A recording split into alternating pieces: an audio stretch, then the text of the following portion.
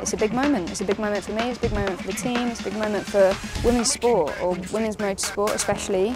And I think in all different areas of sport at the moment, we're growing and showing that we have as, as much um, reason to be here as the men. So hopefully this is the first step of more women getting into Formula One and